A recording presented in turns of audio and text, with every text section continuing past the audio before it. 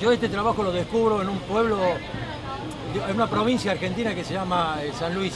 San Luis tiene un pueblito muy chiquitito, muy bonito, que se llama Merlo. Y yendo a pasear, eh, vi un cartel hecho en madera, un cartel inmenso hecho en madera que decía moneda escalada. No sabía lo que era, así que me bajé y compré una moneda, me pareció fabuloso y después de, después de cuatro meses de no salir en mi casa para tratar de calar y hacer el trabajo, mi nombre es Luis Omar Paz, soy argentino, este, tengo 59 años y soy un artesano. Yo lo que hago es reciclar monedas. Yo elijo una moneda entre muchas eh, que tengan un motivo, el motivo es el dibujo que tiene la moneda, que sea bonito, como para poderlo llevar colgado del pecho. La perforo la moneda con mechas muy finitas y después con cierre que son más finas que las mechas, le quito el fondo de la figura que tiene la moneda. Y yo hace 8 años, 9 años que estoy, pero que me dedico a este trabajo hace 3 años y medio. Yo las hiervo en un líquido que tiene mucho amoníaco para sacarle toda la grasa, después las lustro, las limo y después las pongo en mente. Son para dijes, para, yo, yo las hago para que las usen en el pecho, pero la gente las usa donde quiere. Cada uno lo hace, lo que quiere. Creo un y medio una moneda como la que está ahí, hay una moneda de Egipto con Tutankamón que tiene muy poco calado. A 20 horas es una moneda de 2 shillings de Inglaterra.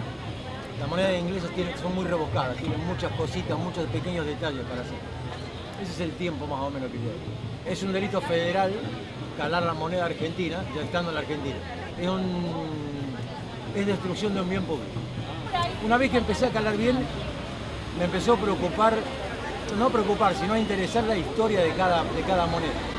El por qué llevan ese motivo, cómo es el país, ver la política, la economía del país, enterarme de anécdotas o de historia de cada país. Eso me apasionó tanto que yo creo que jamás, mientras pueda hacerlo, nunca lo voy a dejar hacer. Vos tenés que apuntarle al valor que le toma para la persona para, para llevarla el cuello porque es un dije muy bonito, pero son todos dijes con historia.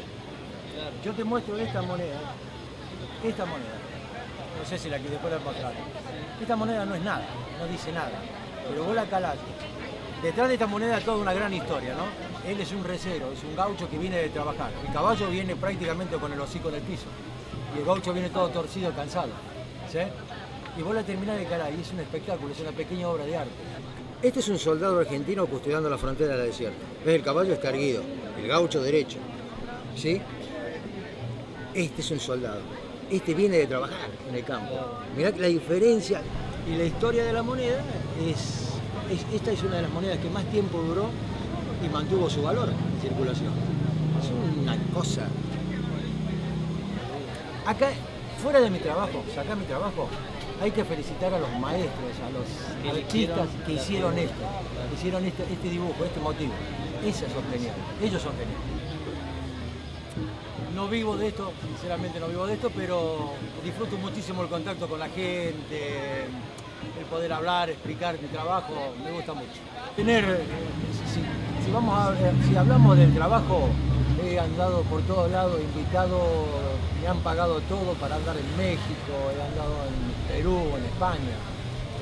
El sueño mío, aunque sea una estupidez, ¿no? es tener una moneda de cada país del mundo. Y no lo puedo hacer no, no, no, no, no consigo las monedas y no, tengo el tiempo para calarlas. Mi trabajo lo hago yo solo. Yo compro las monedas, yo las elijo. Y el elegir la moneda no es sencillo, porque vos vas a una casa de Marketing y el, el, dueño de la casa de Marketing te tira 500 monedas. Y vos tenés que ver las 500 para quedarte con una, por ejemplo.